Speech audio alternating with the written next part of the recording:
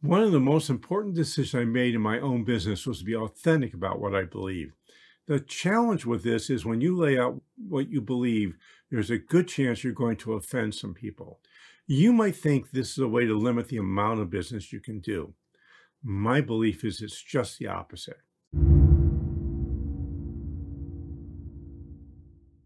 Hi, I'm Josh Patrick. I'm the founder of The Sustainable Business.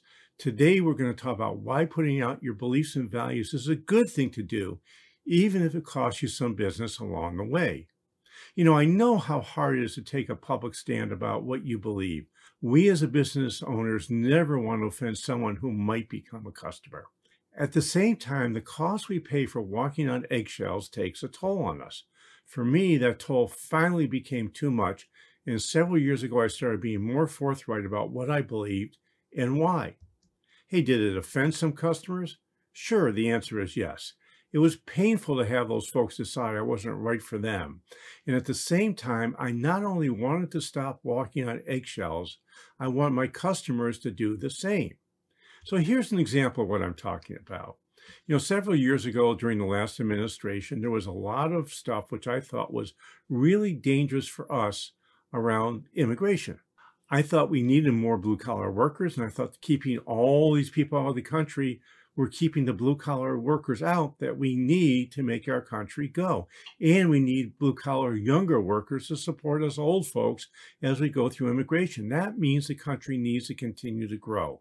When you stop immigration, we actually have zero or negative growth because we're not replacing everybody at a one to one basis. The other part about immigration, which I thought was really silly, is we're making it difficult for PhDs and master's degrees from people from outside the country to come inside the country. The more brain power we have in the country, the better off we are. So my stance I made up very public and it offended some people. And for some, my stance was so controversial, they just didn't want to hear about it. So as a result, they decided to leave us. I also think it's important for you to put out your values. And again, some people will identify with them and others won't. So here's another example. One of my values is rights and respect. And it's a truly important value for me. This shows you how values can be used in your company. So we had a particular client, and this client would call up our office really upset. I had recommended he join a peer-to-peer -peer group, and they wanted to do some vetting. Well, he thought that was the worst thing in the world. So he called up the office, screaming at my assistant, using every four letter word in the book, and he wouldn't calm down.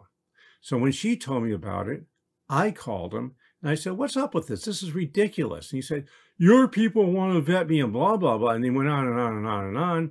Now, I was already ready to tell him to go away. And after his tirade at me, there was no question this guy was no longer going to be doing business with our, our company. And I can tell you that after I told this particular customer to go away, my firm took a big, giant breath. The folks in our firm knew I had their back, not only in words, but actions as well. And the loyalty that we gained from our staff was more than worth losing this particular client, who was a jerk anyhow, and frankly, I had had it with him. So I want you to consider being more authentic in how you are seen by the world. So here are some things you can do to start you on the journey. Number one, start by having a clear sense of what your values and core beliefs are. Without that, you don't know what you stand for, and it's really hard to communicate to, that to others. Now, you want to make sure you walk your talk on this. If somebody breaks that value and they break it in such a bad way, like my example was a little while ago, you got to tell them to go away, whether they're an employee, a customer, or a supplier. Number two, Make sure you walk your talk and live your values and your core belief. If you don't do that, you're going to be seen as a liar within your company. If something's a core value, it has to be true 99% of the time. If it's true 75 or 80% of the time, it could be an aspirational value, or it could be what's called a permission to play value. But either of those, you need to be clear, say this is a value, and it's either something that we're trying to make into a core value or not there yet, or every once in a while we have to let it go for a variety of reasons.